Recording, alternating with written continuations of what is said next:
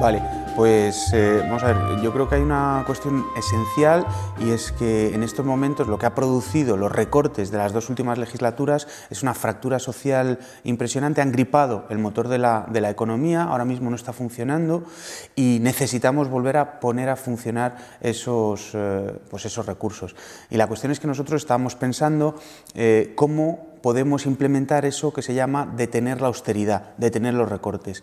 Y para ello se diseñó lo que, lo que, mm, lo que estás preguntando, un plan de modernización y bienestar económica, que supone en primer lugar, la garantía de que en el minuto uno, después de las elecciones, se paralicen los recortes, porque supone un incremento adicional de gasto público con respecto a lo que propone el Partido Popular de 25.000 millones anuales. Eso a final de la legislatura supondría una movilización de recursos de 96.000 millones adicionales a lo que plantea el Partido Popular y es además a lo que se ha comprometido el Gobierno de España. Es decir, el siguiente gobierno que salga tendrá que aplicar los recortes que el Partido Popular eh, está especificando en sus presupuestos generales. Bien, pues nosotros planteamos una política fiscal alternativa que se base en la detención de los recortes, en primer lugar, desde el minuto uno, y en segundo lugar, en la creación de capacidad de crecimiento potencial, porque lo que no tenemos que olvidar es que los recortes lo que están produciendo no solo es un destrozo social, una fractura económica, eh, gripar el motor de la economía, lo que está produciendo es lo que los economistas llaman una histiéresis, es decir, que cada vez que se tarde más en cerrar el torniquete de, la brecha de los recortes, eh, costará muchísimo más revertir esos recortes que se han hecho durante estas dos legislaturas. Bueno, eh, claro, nosotros queríamos efectivamente, eh, en este, esta organización de programa colaborativo que hemos hecho con los círculos, con los movimientos sociales y con el Consejo Económico Internacional, con Thomas Piketty, con James Galbraith, etcétera, eh, tratábamos de generar crecimiento, pero sobre todo de transformar el crecimiento. Es decir, ya no nos sirve eh, el crecimiento que nos ha llevado hasta la burbuja financiera. No nos sirve crecer depredando nuestras costas, no nos sirve crecer especulando con el precio de la vivienda. Ese modelo está caduco y además nos ha producido una bolsa de desempleados de más de 3 millones de, de personas que están ahora mismo, que no tienen trabajo y que vienen de la construcción. Bien, pues todo eso hay que modificarlo y hay que generar crecimiento, pero también transformando la naturaleza de ese crecimiento. Entonces nosotros lo que proponemos es un plan nacional de transición energética que va a permitirnos transitar hacia modelos de crecimiento más inclusivos, menos contaminantes, más igualitarios. Y en ese sentido, este plan está articulado en torno a dos grandes ejes. El primero de ellos sería un plan masivo de rehabilitación de viviendas, de 200.000 viviendas al año. Eh, esto nos va a permitir eh, generar una mejora en la estructura de la, eficiencia energética de los hogares, de reducir hasta un 80% el consumo de energía de esos hogares eh, y sobre todo reducir la factura energética en alrededor de 700 euros de media en cada vivienda rehabilitada. Claro, esto tiene un impacto sobre el consumo energético de estos hogares, reduce su factura y por lo tanto incrementa su capacidad adquisitiva. Y además, por otro lado, tenemos la segunda pata, la segunda pata del Plan Nacional de Transición Energética, que es eh, poner en el centro del sistema eléctrico las energías renovables. Ahora mismo tenemos la factura eléctrica más cara de toda Europa, la electricidad en Vallecas cuesta más cara que la electricidad en, Silicon Valley o en Hollywood y esto no tiene ningún sentido. Necesitamos modificar la estructura oligopólica del sector eléctrico y poner en el centro las renovables que éramos un país puntero en energías renovables, que estábamos liderando la producción de energía no contaminante, pero que la actual regulación y precisamente el Real Decreto 900 barra 2015 pone en peligro esa, producción de energías renovables. Con la derogación de ese Real Decreto lo que vamos a permitir es básicamente eliminar ese impuesto al sol y que se democratizar el consumo de energía y la producción de energía y reducir la factura energética en, en los hogares. Bueno, ahí unos, eh, como decía, el sistema eléctrico desde la reforma del 97 se ha generado un mercado oligopólico en donde unas pequeñas compañías, cinco concretamente, se reparten el, mercado y se reparten los beneficios.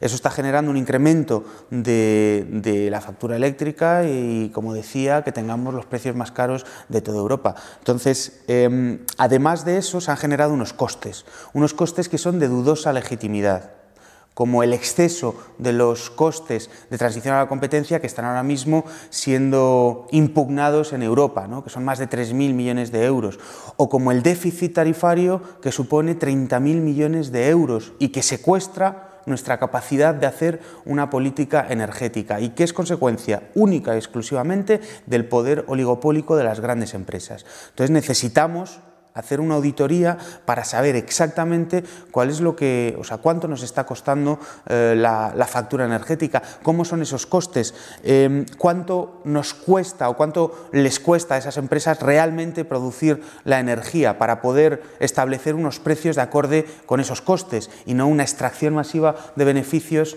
eh, a través de la pues de, imponer unos precios desorbitados a las, familias. Bueno, claro, las eh, centrales eh, hidroeléctricas son concesiones por un número eh, concreto de años, entonces lo que nosotros proponemos es que a medida que esas concesiones se vayan agotando, retomen a través de las confederaciones hidrográficas el control público ¿no? para para básicamente detener los procesos especulativos que se están generando en esos mercados a través de estas concesiones. Queremos recuperar la soberanía energética, recuperar la soberanía de un sector tan estratégico como es el energético y esto, pero también eh, la recuperación, la no renovación de los permisos de explotación de las centrales nucleares también va en el programa. Es decir, vamos por un lado a eh, cerrar las centrales nucleares lo más rápido que podamos y por otro lado incrementar eh, la producción de renovables eh, de manera sustancial. Bueno, claro, yo creo que la pobreza energética tiene como tres grandes razones. La primera de ellas es, como decíamos, el, oligopolio y el precio excesivo que pagamos por esa energía. en un país con el salario mínimo interprofesional más bajo de toda Europa, uno de los más bajos de toda Europa, tenemos los precios más altos de la energía y eso evidentemente tiene un coste o una, eh, digamos, es una explicación directa de por qué tenemos 7 em, eh, millones de personas hoy en día que no pueden eh, mantener un, nivel adecuado de calefacción en su vivienda. Em, el segundo de los grandes problemas es, sin duda, la mala impermeabilización o la mala eficiencia que tienen las, eh, las viviendas. Y por supuesto, ahí quiero decir, es donde tenemos que em, concentrar nuestros refuerzos o nuestros esfuerzos del Plan Nacional de Transición Energética. Entonces, nosotros con esto lo que queremos básicamente es que la electricidad o la energía sea un servicio público, independientemente de si lo gestionan empresas privadas o empresas públicas. Creemos que ese acceso a la energía, que poder mantener una, em, una temperatura adecuada en la vivienda no tiene que depender si la empresa es pública o privada. Y para eso vamos a garantizar un suministro vital mínimo a aquellas personas que tienen, eh, pues que tienen problemas, de, mm, eh, que tienen dificultades para llegar a fin de mes o que tienen dificultades para pagar esta factura energética. Y ese suministro vital nunca podrá ser eliminado o no podrá realizarse el corte de suministro por, problemas, eh, de, problemas de incapacidad de pago de, las personas porque estén todos en paro, porque no tienen capacidad de pagarlo. A partir de ahora, el Gobierno o el, el, Estado garantizará que todas las familias en este país pueden calentar su vivienda cuando llegue el invierno como somos, eh, digamos que somos una formación que está impugnando lo que se llama la austeridad, que es un proyecto que es un proyecto político, no es un proyecto económico, es un proyecto de liquidación del sector público, es un proyecto que pretende eh, poner en las manos del mercado privado todo lo que hasta ahora estaba proveyendo el sector eh, público. lo primero que se les acusa a las formaciones que presentan un proyecto para detener ese plan de austeridad es de imposibilidad, claro, porque durante todos estos años nos han estado diciendo que no hay otra solución, que, esa es la única, que ese es el único camino, que mm, reducir nuestros derechos, bajar los salarios, que destruir empresas es la única manera de generar competitividad. Bueno, pues nosotros no estamos de acuerdo, evidentemente. Em, creemos que mm, existen recursos y que sobre todo España no tiene un problema de gasto nuestro nivel de gasto con respecto al PIB es muy inferior al nivel de gasto que se produce en otros países eh, similares de la eurozona. Nuestro nivel de gasto es inferior a la media de la eurozona. Lo que tenemos es un problema de ingresos. En primer lugar, tenemos que gastar mejor y tenemos que ingresar mejor. Para gastar mejor, evidentemente, tenemos que eh, eliminar, pues, por ejemplo, todos estos oligopolios y mejorar la competencia en ciertos sectores como las telecomunicaciones, pero para ingresar mejor necesitamos una reforma fiscal. Pero fíjate que nuestro plan de modernización económica no tiene como primera fuente de financiación la reforma fiscal, tiene tres fuentes de financiación. La primera de ellas es eh, lo que llamamos el eh, multiplicador fiscal, que es una jerga económica horrible y que es difícil de entender, pero que básicamente lo que significa es que por cada euro que el sector público pone eh, en la economía, eso se moviliza en torno a 3 y 4 euros, por ejemplo, en el plan de transición energética. ¿no? Moviliza entre 3 y 4 euros del sector privado ya se está haciendo en Alemania, 100.000 millones de euros movilizados y por supuesto no solo sector público, eh, es también sector privado. Entonces, em, esta generación em, de, actividad económica va a suponer un incremento de 7.000 millones de euros anuales, este multiplicador fiscal. Nosotros utilizamos el multiplicador fiscal que utiliza el Fondo Monetario Internacional, que no es susceptible de ser votante de Podemos. Y en segundo lugar, o la segunda pata, de dónde vamos a sacar el dinero, es em, lo, que, lo, que, llamamos, eh, o lo que decimos que es em, modificar la naturaleza de la reducción del déficit público, modificar la naturaleza y la velocidad.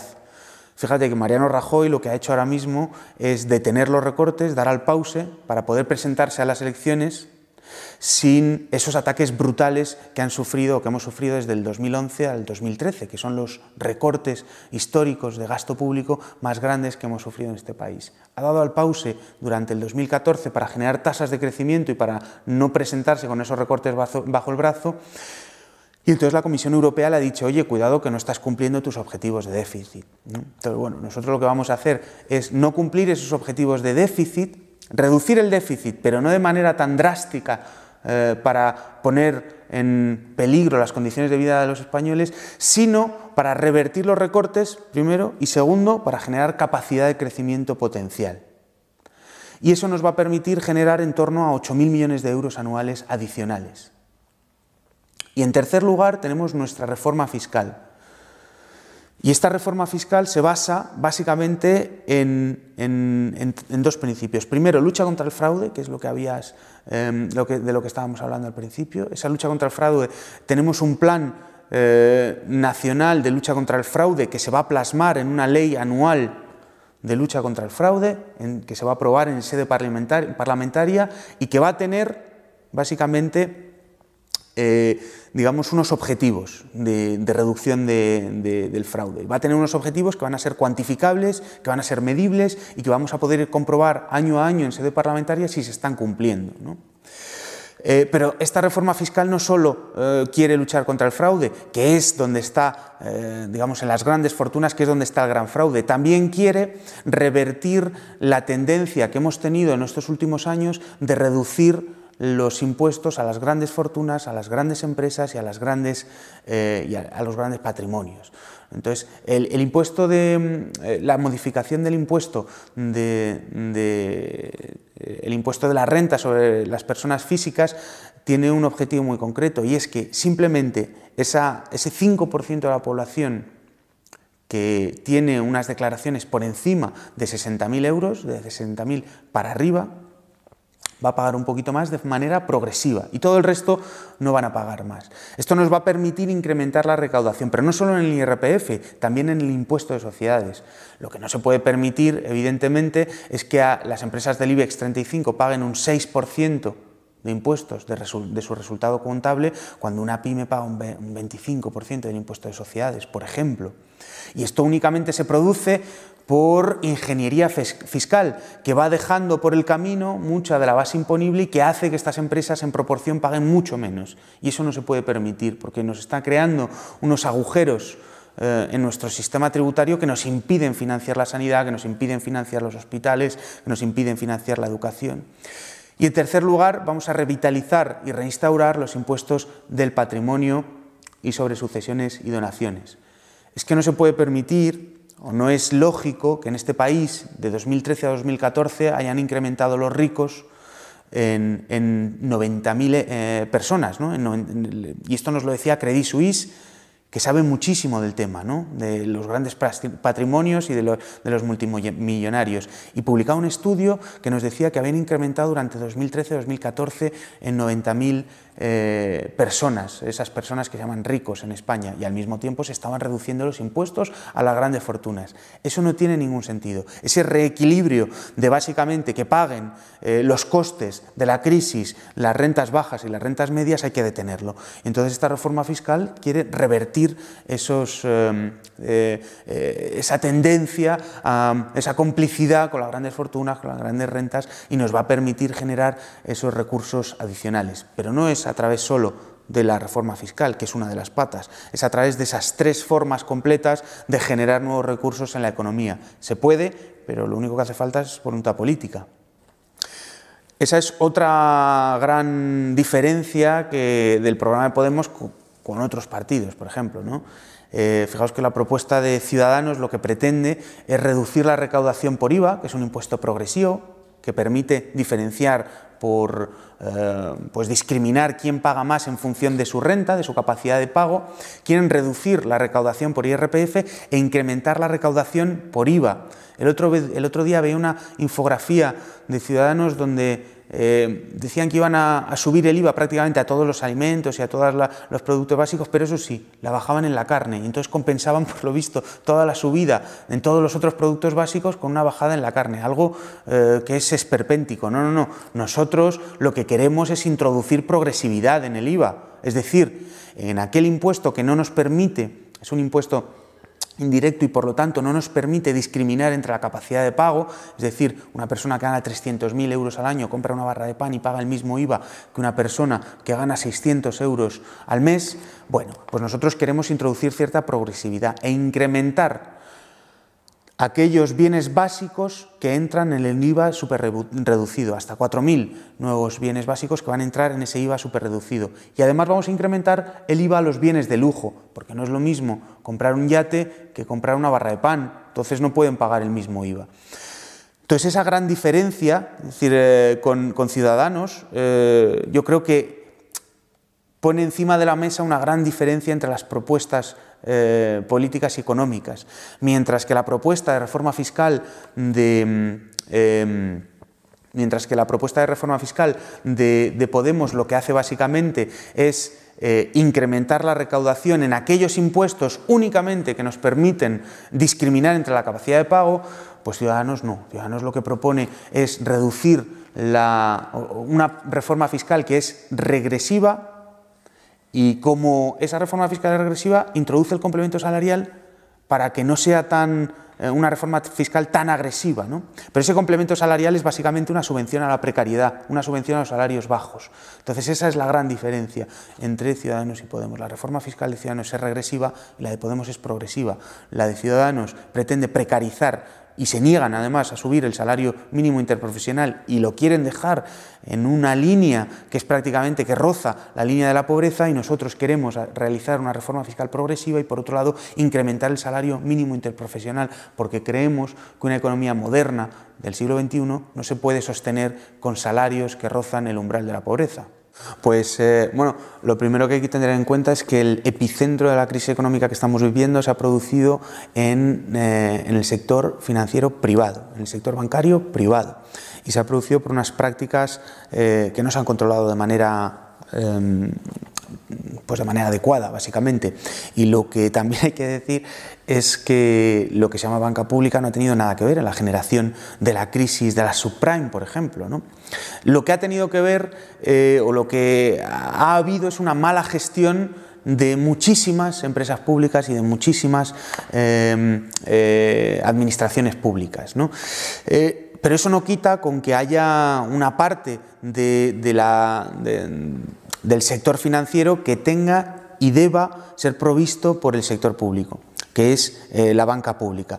Mira, el rescate bancario ha costado alrededor de unos 100.000 millones de euros, el rescate asociado al, al memorándum 60.000 millones de euros, y esto ha ido directamente a solucionar aquellas malas decisiones de inversión del sector financiero. Y esto ha puesto en peligro eh, la economía española. Y esto además ha puesto en peligro a la economía española no solo por, por, esa, digamos, por esos activos tóxicos, por esa burbuja financiera, etcétera, sino porque ha cortado directamente los canales crediticios, los ha roto. Ya no, mm, a pesar de que el Banco Central Europeo está inyectando unos 60.000 millones de euros al mes en, términos de la expansión cuantitativa, es decir, está inyectando liquidez, que es de donde los bancos eh, pues cogen liquidez eh, en, en el sistema de la eurozona, luego esa liquidez que provee el Banco Central nos está trasladando a financiar proyectos de inversión.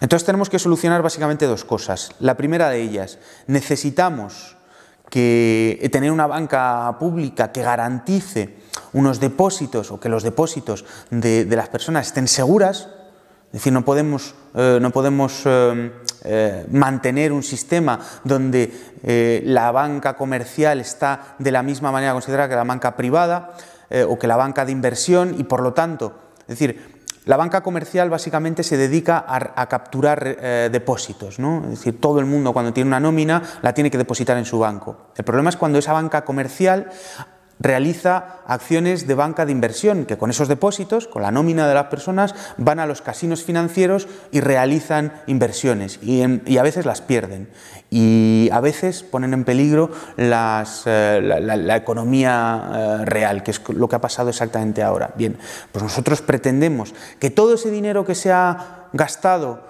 en recuperar la, banca privada, que todo ese dinero que se ha gastado en solucionar las malas inversiones de la banca privada ahora se ponga al servicio de la economía productiva, ahora se ponga al servicio de financiar aquellas pymes que tienen actividad productiva pero que no encuentran financiación, que se ponga al servicio de la transición energética, que se ponga al servicio del crecimiento económico de este país. Y eso solo se puede hacer si se toman las decisiones necesarias con aquellas eh, entidades que actualmente o en las que actualmente el sector público tiene una participación suficientemente importante como es Bankia y Mare Nostrum. Entonces proponemos utilizar, ahí donde hemos puesto ese dinero, Bankia y Mare Nostrum, a, financiar actividades productivas. No queremos que sea evidentemente unas ayudas gratuitas a fondo perdido, queremos que sea rentable esa banca pública, pero queremos que financie la actividad productiva.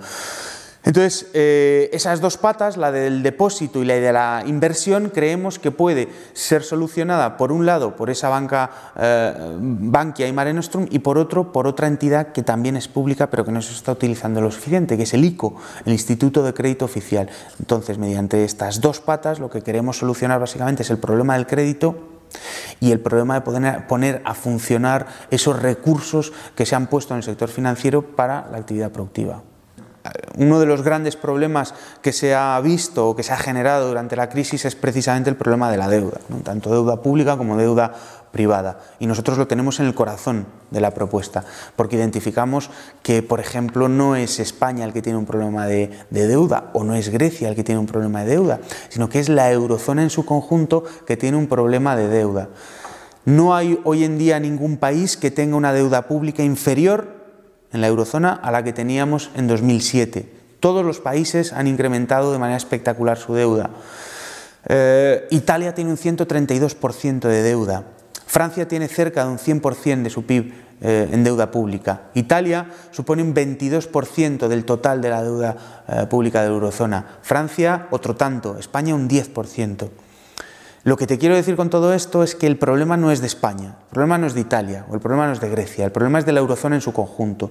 Y nosotros proponemos que el problema de la deuda pública necesitamos solucionarlo en el marco de la eurozona, ya hay muchos planes al respecto que se han propuesto desde diferentes institutos y desde diferentes em, actores eh, políticos y económicos e intelectuales económicos. Em, y esa reestructuración de la deuda es necesario hacerlo. Es necesario hacerlo básicamente por un motivo. En Europa se produjo la mayor época de crecimiento eh, por dos motivos. En primer lugar, por el Plan Marshall y en segundo lugar, por la quita de la deuda que se hizo a Alemania en 1953. Eso permitió generar el mayor periodo de crecimiento, permitió generar una reducción de las desigualdades, permitió generar un incremento de los salarios y eso generó la excepcionalidad europea en términos del Estado social, es decir, permitió crear lo que hoy conocemos como estado de bienestar que se lo están cargando. Bueno, pues nosotros proponemos eso a nivel europeo, exactamente lo mismo, generar un nuevo círculo virtuoso de crecimiento mediante un proceso de reestructuración a nivel europeo.